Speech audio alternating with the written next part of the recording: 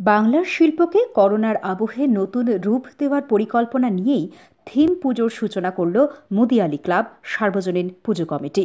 উনিশশো পঁয়ত্রিশ থেকে শুরু হওয়া মুদিয়ালি ক্লাব, সার্বজনীন পুজো কমিটির এবারের ভাবনা দায়। করোনা আবহে বহু মানুষ রোজগারহীন।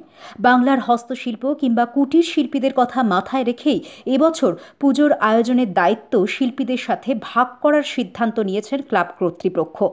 করোনার প্রকোপে যখন বিশ্বজুড়ে ক্রমশ অর্থনৈতিক মন্দা ছড়াচ্ছে, সেই জায়গায় মুদিয়ারি ক্লাবের এই ভাবনা সত্যই অভূতপূর্ব। মাতৃ আরাধনায় বাংলার শিল্প ও শিল্পীদের নিয়ে কাজ করার এই দায়কে সাধুবাদ জানিয়েছেন কমিটির অন্যান্য উপদেষ্টা মণ্ডলীয় কিছু ক্লাবের তরফ থেকে কিছু পুষ্টিকর ইমিউনিটি বুস্টার হিসেবে কিছু জিনিসপত্র, খাদ্য সামগ্রী আমরা তাদের হাতে তুলে দিয়েছি। কারণ তাদের কিন্তু আমরা ভুলিনি। ভুলবো না। এই দায়বদ্ধতা থেকেই আমাদের আজকের নিবেদন। তাদের হাতে কিছু জিনিস আমরা তুলে দিয়েছি। কোন অবস্থার মধ্যে দাঁড়িয়ে পুজোটা করছি? সেখানে দাঁড়িয়ে আমরা জানি যে বাংলার উৎসবের যদি আমরা ইতিহাস ঘেটে দেখি তাহলে বাংলার লোকশিল্পী যারা যারা বাংলার হস্তশিল্পী তারা এতদিন ধরে দুর্গাপুজোকে সমৃদ্ধ করে এসছে।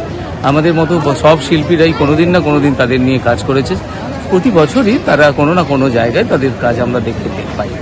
তুঙ্গামের আহ, কাঠের পুতুলি হোক বা বাঁকুড়ার টেরাকোটাই হোক, মেদিনীপুরের পটুয়া হোক, বা পুরুলিয়ার ডোকরা হোক।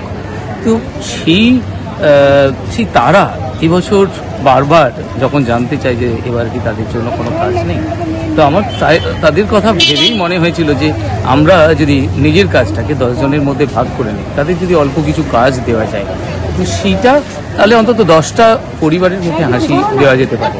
হয়তো তাদের আর্থিক সামান্য কিছু সাহায্য করা যেতেই পারতো। কিন্তু সেটা বোধহয় তারা কেউ চায় বলে আমার মনে হয় না। তারা সবাই কাজ চায়। থিমটা কি? তাদের দিয়ে কি হ্যাঁ তাদের মূলত কাজ দেওয়া। সেই তাদের তৈরি কাজ এখানে আমরা প্রেজেন্টেশন করব এবং সেই প্রেজেন্টেশন হয়তো আমাদের যে এবারের থিমের সঙ্গে প্রাসঙ্গিক নাও হতে পারে। কিন্তু যাই হোক না কেন আমরা চেষ্টা করব সেটাকে একসাথে কীভাবে মিলিয়ে দেওয়া যায়। আমরা আমি শিল্পী হিসেবে সেটাকে একসঙ্গে একই মালায় গেঁথে দেওয়ার চেষ্টা করব। যতটা কিন্তু তাতে যদি কোনো ত্রুটিও থাকে? আমরা সেটা বড় চোখে দেখছি না।